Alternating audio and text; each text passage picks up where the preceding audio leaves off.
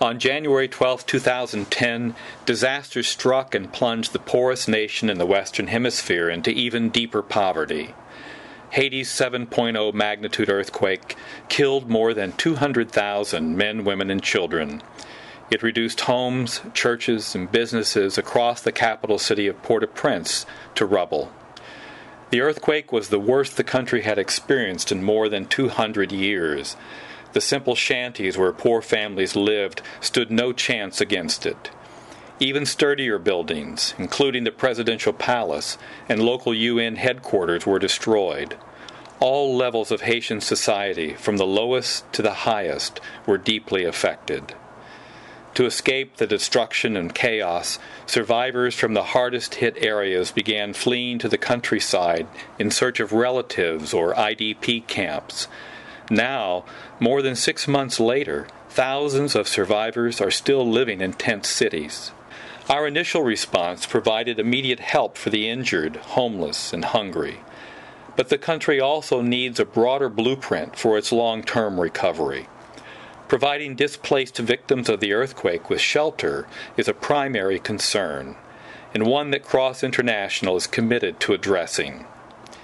We've launched an effort to build earthquake resistant homes for refugee families.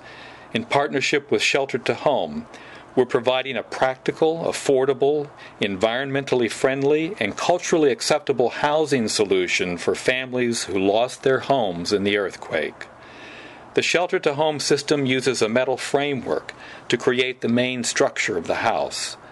The homes are built from prepared components that are manufactured to order for a specific floor plan. This allows the materials to be packaged, transported, and assembled as kits, a major advantage when groups of houses are being constructed in one area. Among other benefits, the system allows workmen to construct the kits in hours with just a few basic tools. A unique reflective fabric covering is then placed over the structure to provide waterproofing. The covering reflects 96% of the sun's heat and keeps the home's interior cool.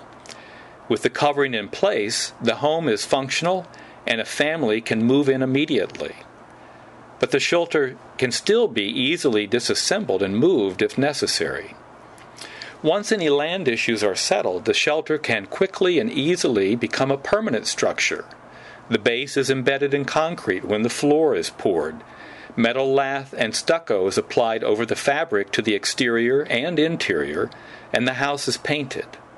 All materials to complete the home are 100% recyclable and manufactured in Haiti to provide local employment. Assembling the homes will also provide employment to Haitian construction crews.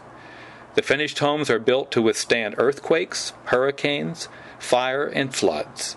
They are also resistant to termites, mold, and mildew. Not least, the shelter to home houses look and function like traditional Haitian homes, so they are culturally acceptable and a welcome addition to neighborhoods and they can be added on to later. Families still living under tents so many months after the earthquake are praying for a safe place to live. These shelter to home houses are a powerful answer to their desperate prayers. Please, will you help us provide a house and new hope to a family today?